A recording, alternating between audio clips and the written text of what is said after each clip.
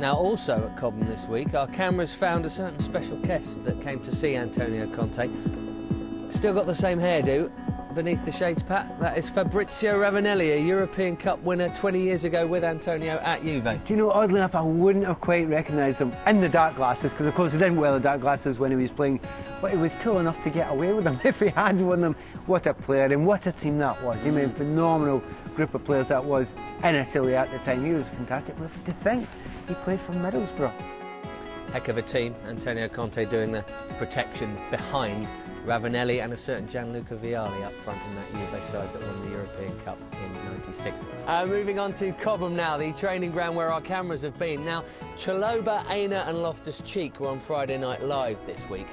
But look at the little task, Jason, we gave them during the course of, uh, of training this week, just to try and subtly, just uh, nutmeg some teammates during the little warm-ups and uh, just having a few goes. Ola's missed one there. Ola's missed one there. Uh, uh, oh, there's a, oh, that's an absolute open goal. That is an open goal. Oh, he's done it twice. he's done it twice. You can't Look, Zouma, Zouma yeah, not, happy. not happy. No. Zouma's not happy. No, get off me. I'm not happy with that. Yeah. Well done, boys. Yeah, um, um, yeah there he is. Yeah, yeah I like that. This is my favourite though because it's one of them doing the other. Chalobah doing Ola Aina and he knows it. Now, whilst doing their preparation work for Friday Night Live and the arrival of Chalobah and co, um, the gents in the office found this.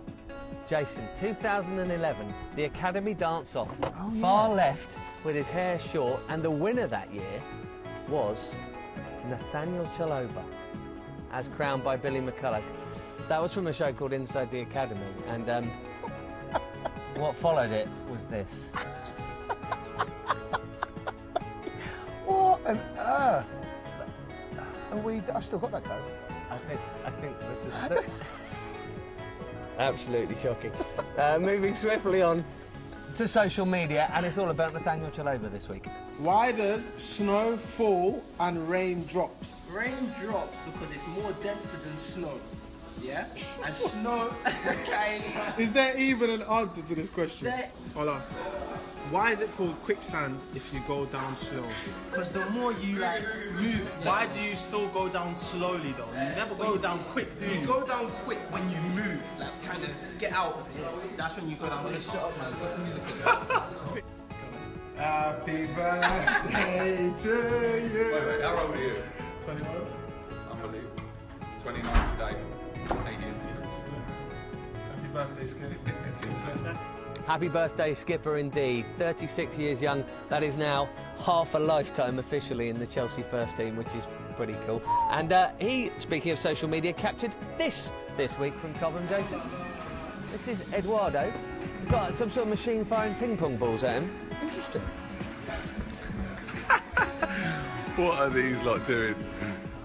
Two more games, two more wins, Pat Nevin. 40 points and staying up. Hooray! Officially. Yeah, we should start singing that a little mm. bit. Um, no, fantastic that we've had such a brilliant start to the season.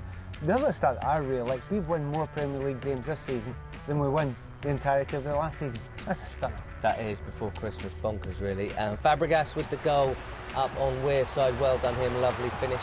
And Courtois as well, both ends well, of the half. Well, Fabregas absolutely phenomenal that he comes in. The manager decides to bring him for Matic and he scores a goal. That's mm. not a bad decision, that one. I like that one. But Courtois, that really got me because this is not the first time he goes out at half time to warm up. Now, is he doing it because he's bored, because he's got cold, or whatever reason? He's done it a couple of times now. I think goodness he did. And he told us about it afterwards. When it's you know summer weather or, or uh, not cold, you know you can stay warm and it's no problem. But when it's now cold like this, it's good to keep yourself warm, be again busy with your hands, and it proved myself good because early second half I made a good save, and then the last minute as well, so that was very good. Could have been any one of three ex-Blues scoring for Sunderland. None of them did. Borini normally does. Djilobodji, I thought quite a good game actually, but Patrick Van Aanholt was the one. I, know. I mean, he thought that was in. It was hilarious because he goes to go and celebrate, and we don't like to laugh at our ex-players. You know, we like Patrick Van Aanholt, but he's going to mm. celebrate a nightmare. So, you know, old players, friends, but don't score against us. That was Sunderland. West Brom was the worst game of football and nothing interesting happened except the fact that Frank Lampard popped by to say hello afterwards. He met Antonio Conte and a few pictures and went in the dressing room. And on the subject of old friends, down at Cobham, Andrea Pirlo came to see Antonio Conte and two people keeping fit. The Coles back with the under 23s. I mean, brilliant for them, the youngsters, I mean, to be training with, with Joe and Ashley. Players that of that standard, the youngsters will look at them. They'll probably still learn stuff. I mean, you you might lose some pace, but you don't like lose knowledge of the game. So that's really good for the kids to see these guys around. But also in the bigger term, this is a place that welcomes back the heroes, and uh, certainly the two Coles were definitely heroes. Bournemouth, Pat. Banana skin last year went all wrong, but we're going to go a bit further back. The, la- the last time before that they came to the bridge. Yeah, that is quite a long time ago. It's, uh, who is it scoring this? I think it was Jukebox. Jukebox Jury, is it? But Batherland? Yeah, in the background. What are the cars doing in there? I think the Sweeney must have been being filmed. something. Something I missed there. I don't think they should have been there.